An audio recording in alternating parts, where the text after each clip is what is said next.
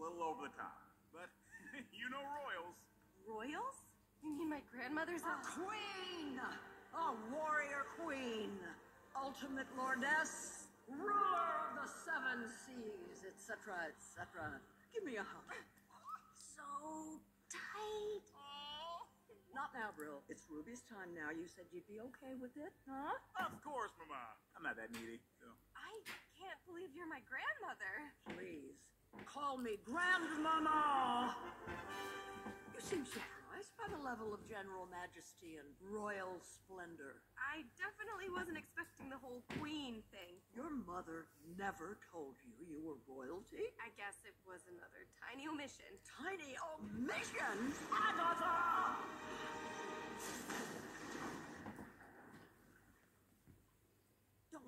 I go to therapy now. I see a wise hammerhead shark on Wednesdays and Fridays, and I let my rage go. Away, rage!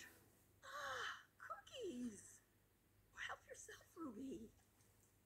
Mm, They're really, they're really good. A little mushy. I made someone make them myself. Now, talk to your grandmama. Tell me everything. Horrible living among the hairy crust dwellers? You mean people?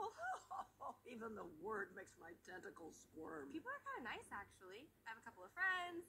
I asked Boy to prom, but you know, it, it did not go great. Well, dearie, you can put all that behind you. You're made for bigger things. Come with me.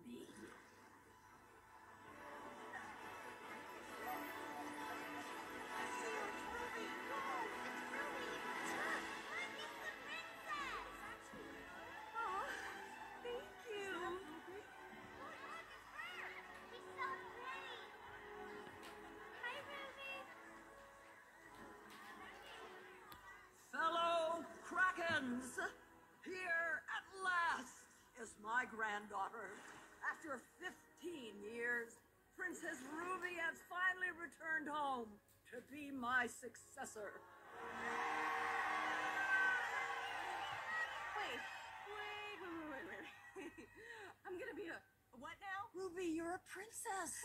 Address the crowd.